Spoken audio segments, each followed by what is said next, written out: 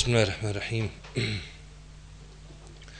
Alhamdulillah, salatu wassalamu ala rasulillahi wa ba'd. Assalamu alaikum wa rahmatullahi wa barakatuh. Nakon zahvala je Allahu Đelešanu i salavata i salama na njegovog poslanika Muhammeda sallallahu alaihi wa sallam. Mi smo govorili i pričali da bi trebali pričati jednom velikom alimu koji se zove Muhammed Muhammed sin Ibn Kajimov koji nosi vjerski naziv Šemsuddin sunce vjere što su mu učenjaci dali posle njega na ime zbog njegovog doprinosa vjerskim znanostima. I pričanje o tome u suštini temelji se i dokaz leži za kazivanje o takvim ljudima, leži u cijelom Kur'anu koji je govorio o o poslanicima na dosta mjesta, kako kaže neki čak u trećini Kur'ana. Zatim je govorio i o dobrim ljudima kao što su Ashabul Kef, kao što je Marijema i drugi koji su spomenuti u Kur'anu, a bili su Allahovi dobri robovi. Ne s ciljem da bi se istakle njihove ličnosti, nego da bi izvukli pouke iz, iz toga. I zato kažu učenjaci, četiri su skupine ljudi o kojima je dozvoljeno pričati o kojima je dozvoljeno pričati i vaditi pouke iz njihovih života u pozitivnom smislu. To su kategorije koje su spomenute u ajetu, gdje Allah Đelešanu kaže fa مَعَ الَّذِينَ أَنْعَمَ an'ama Allahu مِنَ minan. Oni će biti s onima kojima je Allah dao svoje blagodati od vjerovjesnika. Znači prva kategorija je vjerovjesnici ulaze tu i poslanici bez ikakve sumnje. Znači onima koji se objavljivalo. O siddiqin. I siddiki. Ko su siddikun? Siddikun to su ljudi koji su dostigli u vjerovanju stepen ihsana. Znate na veliki hadis od Džibrilu, kad je Džibril došao poslaniku sallallahu alaihi wasallam i kad mu je rekao šta je islam, pa on rekao to i to, pa šta je iman, pa on rekao to i to, a šta je ihsan? Pa kaže en tabud Allah ke enneke tarahu, fa illam tekun tarahu, fa innehu jarak.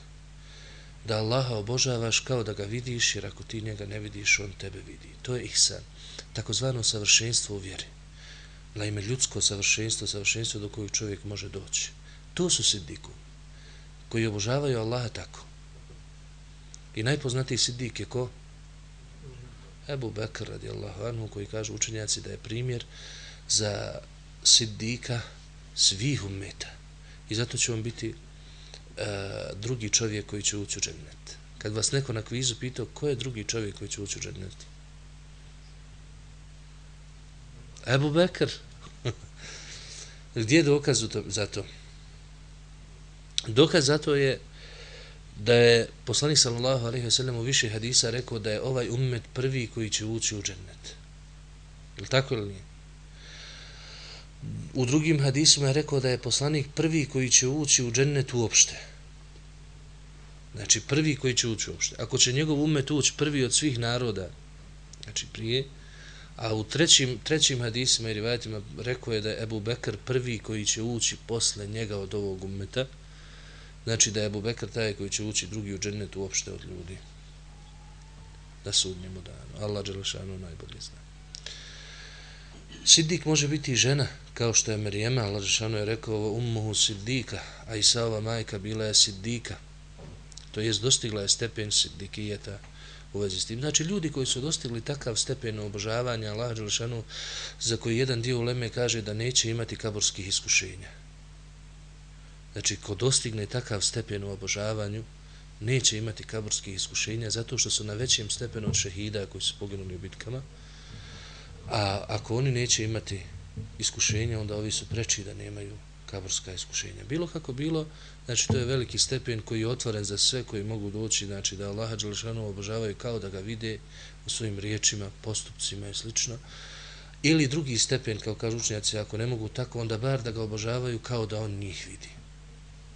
To su ta dva stepena ihsana. Wa šuhada u ajetu dalje kaže šehidi. Ovdje u šehide ulema obrojile dvije skupine, dvije kategorije šehide, znači oni koji su poginuli u bitkama, to je stepen odmah ispod sindikijeta, i šehidi ovdje neki ubraju ulemu. Zato što je ulema u suštini šehid i šahid za sve one koji su u njihovom vremenu, a i posle njihovog vremena. Svjedoci da je Allahova objava istina i Allah je uzao za, na više mjesta za svjedoke i kao dokaz da je ono što objavio svom poslaniku sa osrednjem istina i jedna od najljepših knjiga koje govori na tu temu je Miftah Dar Saade e, ključ za kuću sreće koju je napisao upravo Ibn Kajim gdje je govorio opširno o tome i četvrta skupina su Salihun oni koji su dobri i oni koji su kako kaže Lemačija dobra djela prevagnu nad lošim znači to su Salihun četvrta kategorija. Od te četiri kategorije, znači, treba pričati, dozvoljno pričati, da budu uzor onima koji su iza njih. Listajući biografiju Ibnul Kajima, rahimahullah, primiti se opširnost, obimnost materije i svega toga, ja iz određenih razloga nisam mogao baš sve to da obuhvatim, nisam tio na brzinu o takvom čovjeku govoriti, pa ako Bog da druge, druge prilike ćemo govoriti o njemu, a noćas sam tio da progovorimo o jednom hadisu koji je prenio imam Buhari i imam Muslim, rahimahumullah. A to je jedan hadis koji govori o temeljima i principima vjere u kojem poslanik sallallahu alejhi ve sellem kaže thalathu man kunna fihi wajada bihinna halawat al-iman. Troje kod koga se nađe na osjetiće slast imana. ثلاث من كن فيه وجد بهن حلاوة الإيمان troje kod koga se nađe osjetit će slast imana. En je kun Allahu wa Rasuluhu ahabbe ilaihi mimma sivahuma da mu najdraži od svih bude, budu Allah i njegov poslanik. En je kun Allahu wa Rasuluhu ahabbe ilaihi mimma, mimma sivahuma znači da Allah i njegov poslanik budu mu najdraži. Druga osobina an yuhibba al-mar'a la yuhibbuhu illa lillah.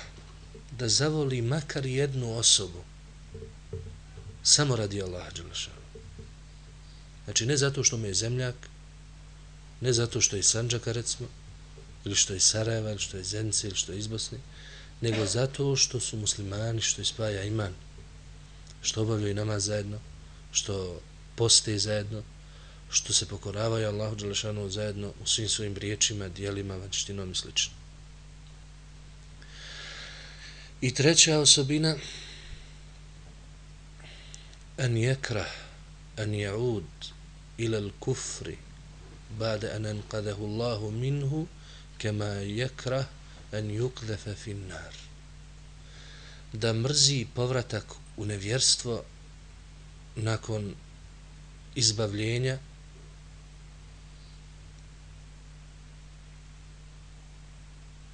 kao što mrzi da bude bačen u džehennem.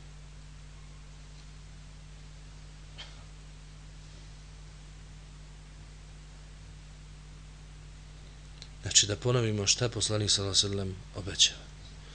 Troje kod koga se nađe osjetit će slast imana tek tad. Ko voli Allaha i njegovog poslanika najviše ko voli Allaha i njegovog poslanika najviše. Ko voli makar jednu osobu samo radi Allaha Đelešanuhu i ko mrzi povratak u nevjerstvo nakon izbavljenja iz njega kao što mrzi da bude bačen u džennem.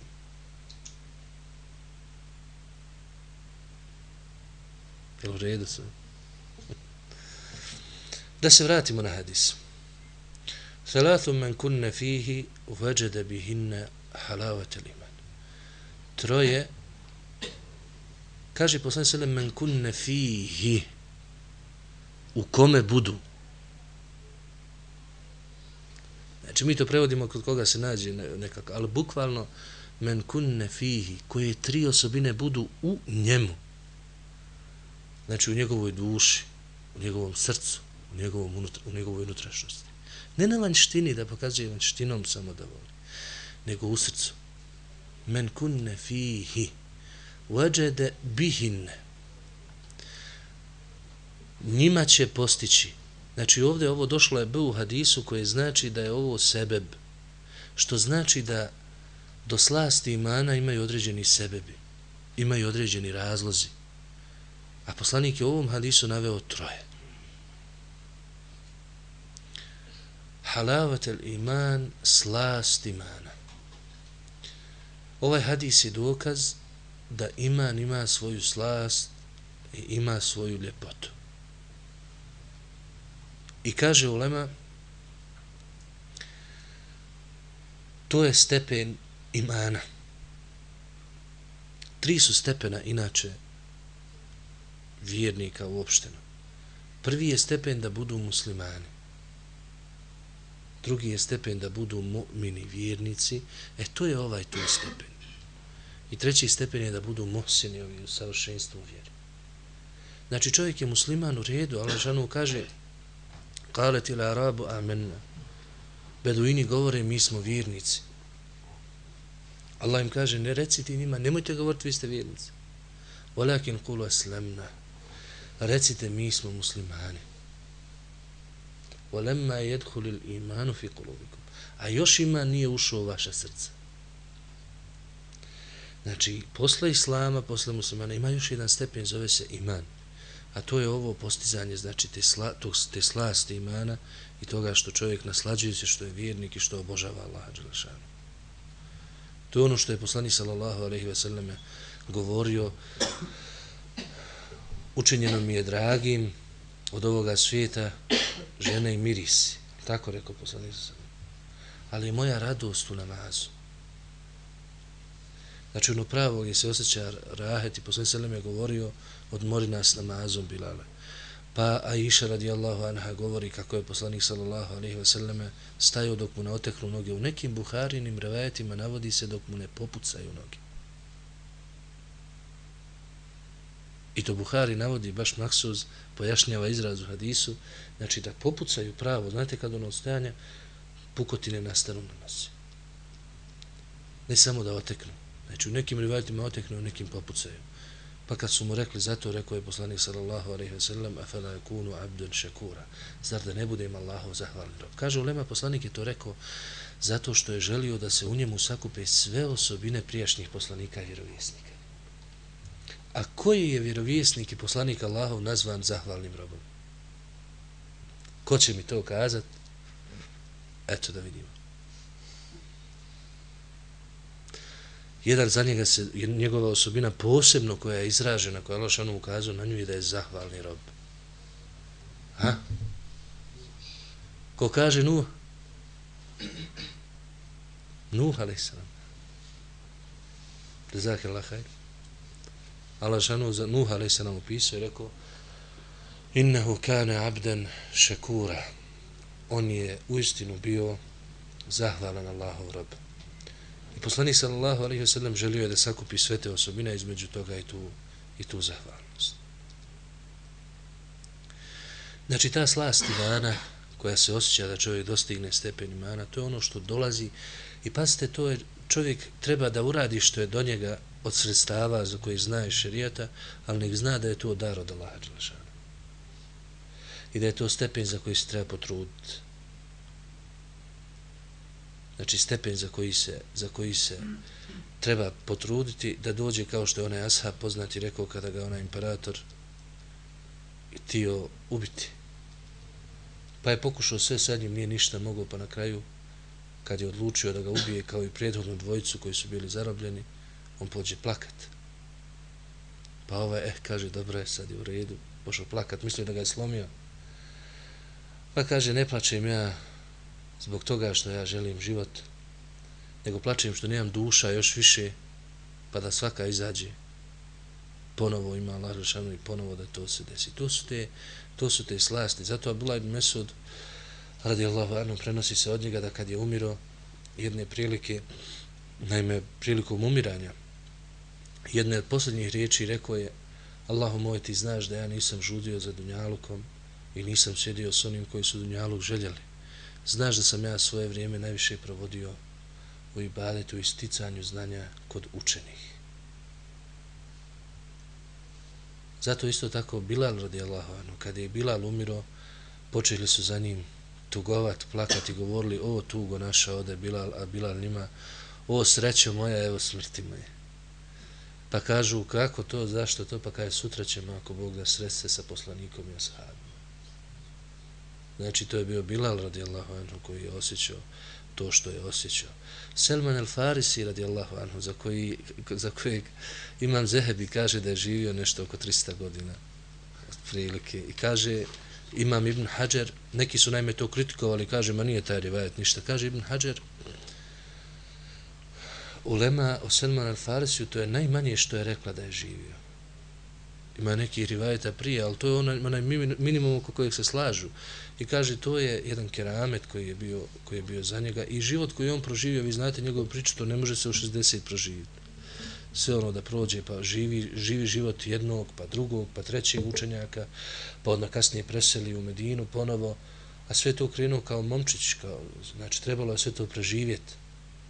I to je bio jedan keramet, Selma al-Farsija, i on je umro opet posle poslanika, sallallahu alaihi ve selleme, I on kad je umiro isto tako pošao je plakat. Pa njega pošli tješiti, pa kaže on, a, kažu njemu, pa ti si bio s poslanikom, pa ti si bio ovako, pa ti si bio, ma kaže, ne plačem ja za tim vašim dunjalukom. Nego ja plačem, nešto sam bio dogovorio s poslanikom, sallallahu alaihi wa sallam, a bojim se da sam to prekršio. Šta je to bilo? Kaže, uzo je poslanik, sallallahu alaihi wa sallam, od mene i još od nekih ashaba prisegu da će obskrba na Dunjaluku jednog od nas biti kao obskrba konjanika. I ja se bojim da to nisam mogao posle poslanikove smrti izdržati. Naime, obskrba konjanika, koliko konjanik ponese na konju ide, toliko i oni da imaju da ne sabiraju više od Dunjaluka ništa. I kad su sabrali sve, sve što je Selman Faris imao, našli su 20 dirhema u parama, i 20 dirhema vrijedna kuća.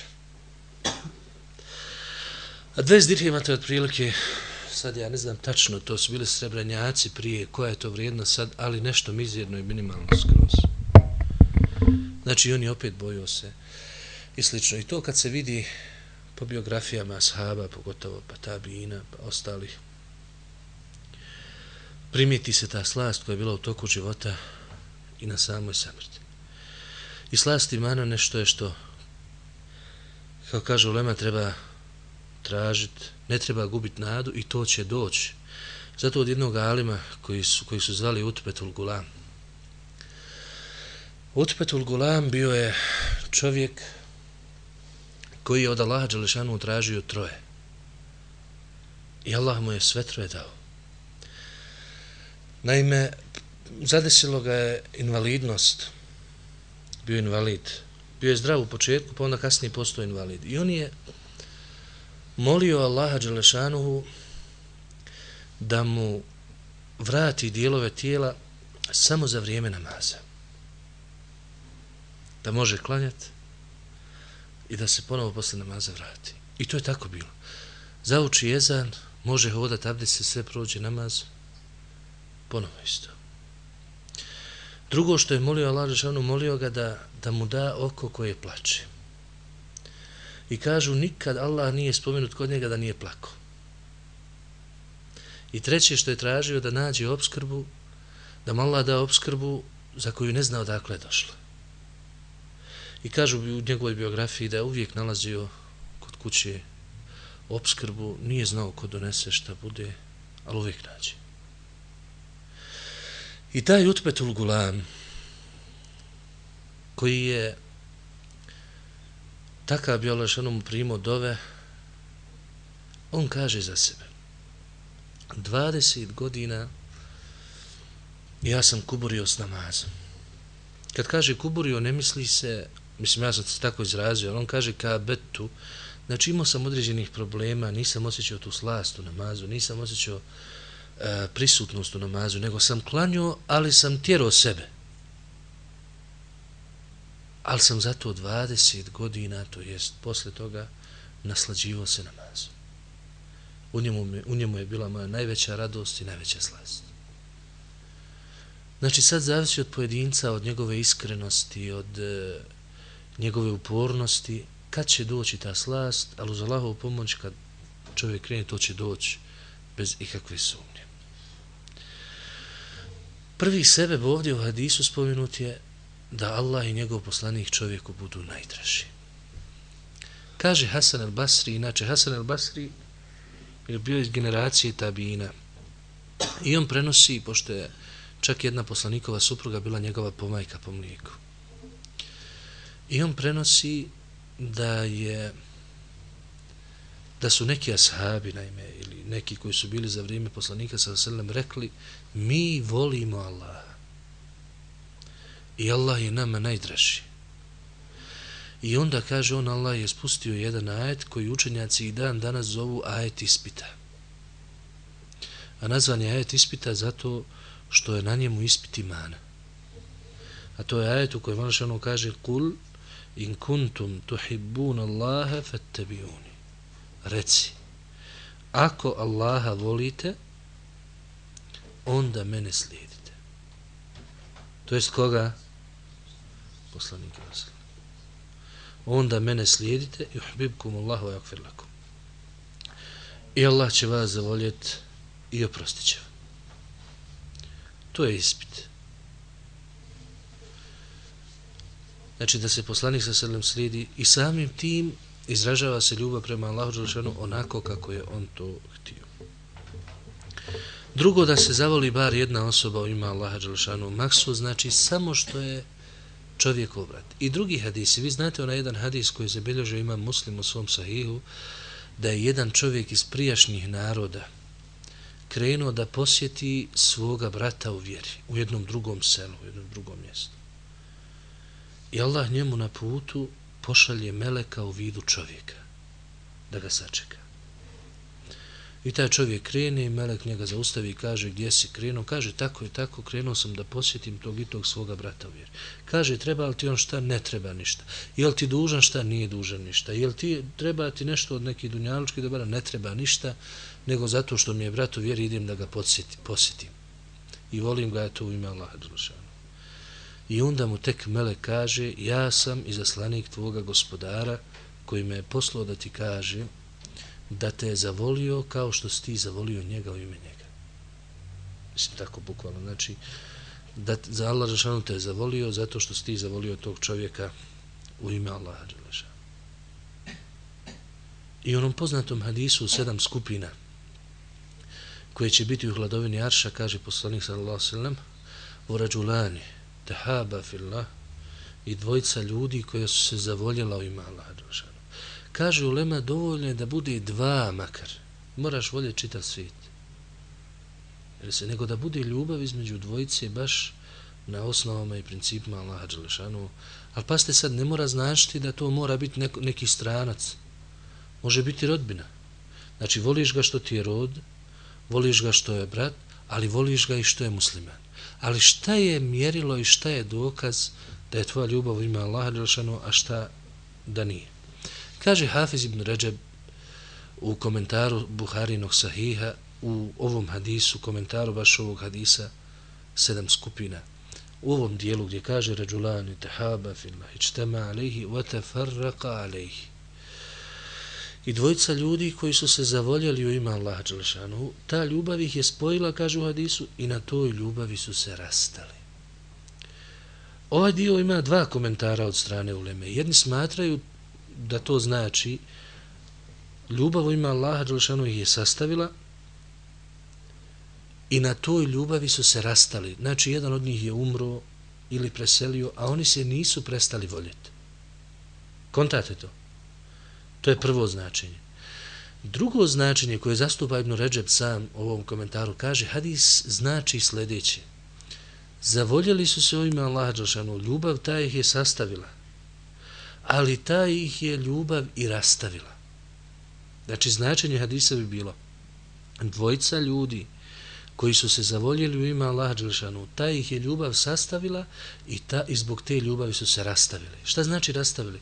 Kaže on, to jest ako je jedan od njih ostavio iman, ostavio pokornost Allahu Đelešanu, rastavili su se zbog te ljubavi ponovno. Kontate to. Znači, to je, kaže Ibnu Ređeb, vaga da li je tvoja ljubav u ime Allaha ili je tvoja ljubav zato što ti je rodbina ili jednostavno što ti neko prija. Znači, ako je on pokoran, voliš ga. Čim skrene i napusti i ostalo, prekida se i ta veza i ta ljubav koja je bila. Allah najbolje zna. I treći da se vrati u kufur, da se da mrzi povratak u kufur, u nevjerstvo, nakon što ga Allah spasio. Znači, izbavljenje iz kufra i svega tih stvari je spasenje od strane Allah Đelšanu, kao što mrzi da se vrati u džehen. To su te tri osobine koje je poslanik sallallahu alaihi sallam spomenio. I mi molimo Allah Đelšanu da nas obskrbi svim tim osobinama i drugim koje on voli i toliko od mene je još jednom halalte i za prošli put i za ovaj pa ako Bog da. Bit će prilike.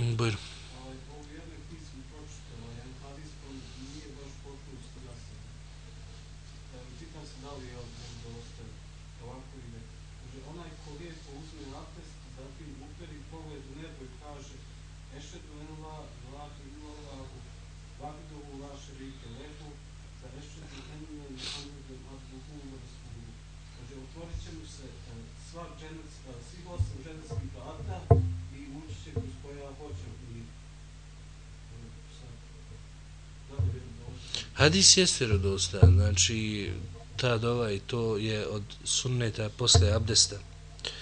Znači da se to da se to uzme i da se abdesti na takav način. E, šta je problematično tu? To je dova koja se ina, inače uči posle abdesta. A ta nagrada koja je vezana ispod, možda je čudna malo nagrada, otvorit ćemo se sva dženecka vrata. E, naime, šta znači dova koju, koju, koju čovjek pročito? Koju uči tada to? Znači, nema istinskog Boga. Malte ne znači svjedoči šehadet i tevhid. A šta je to što otvara vrata dženeta? Tevhid, la ilaha illallah, tako ili nije? Znači, praktično je to to značenje. A drugo, to otvorit će mu se, misli se na sudnjem danu, kad dođe, i potpada to sve, inače, pasite, ti hadisi ovakvi, potpadaju pod opšta pravila i opšte principe Islama, a to je da će se otvoriti, ukoliko to kaže iskreno srcem, znači to potvrdio je riječima već i potvrdi to dijelima. Kontate to. Znači sve te hadise podvode se pod ta pravila i to isto tako.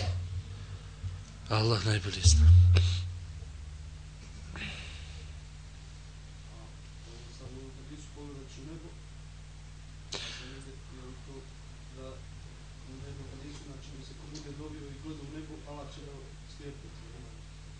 Nema to za, za dovu, nego za namaz, dizanje pogleda, u namazu, to se navodi naime da su ashabi, ashabi su u namazu prije početku islama i razgovarali i pričali.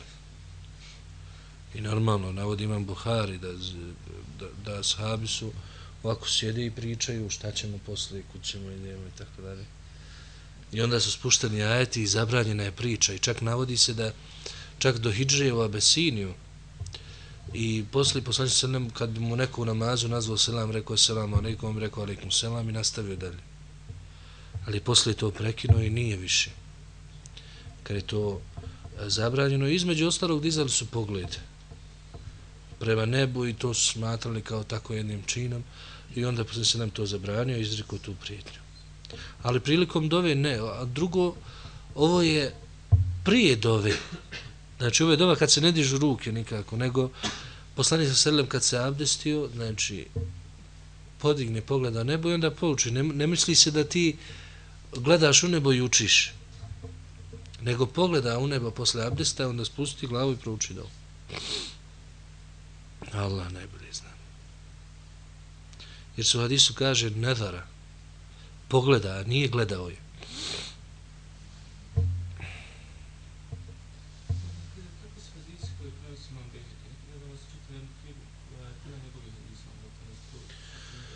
Imam Behekija je veliki alim bio u svoje vrijeme i kaže u Lema da je htio osnovati mezheb, mogu je osnovati mezheb. Bio je muhadis, njegova dijela smatraju se najvrednijim hadijskim dijelima nakon sakupljača šest hadijskih zbirki. On je došao poslije generacija, poslije on je bio krajem četvrtog, početkom petog vijeka i bavio se lancima prenosilaca i većina njegovih hadisa nalazi se u šest hadijskih zbirki. Znači, on je došao posle njih. I ima puno tih hadisa, najme gotovo uh, svi hadisi zabilježeni su u tih šest hadijskih zbirki ili u zbirkama prije njega, samo što je on imao svoje senede. Znači, imao je svoje senede i tako dalje i to pomaže mu hadisima nekada u utvrđivanju vjerodostojnosti pa i tako dalje. I on je napisao tri velika sunena. Sunen Kubra koji je najveći, ima srednji, ima mali. Znači. I nisu svi rodostojni kod njega hadisi. Znači njegovi hadisi moraju se prije nego što se uzmu pogledati jesu li dobri ili nisu. Često on sam, pogotovo u velikom sunenu, on sam kaže ovaj hadis nije vjerodostojan. Ili jest vjerodostojan i tako. Allah najbolje zna. Znači, njegovi hadisi ne mogu se prihvatiti od tako nisko Buhara i Muslim, a normalno da se ne odbacuju, pošto je čovjek veliki alim.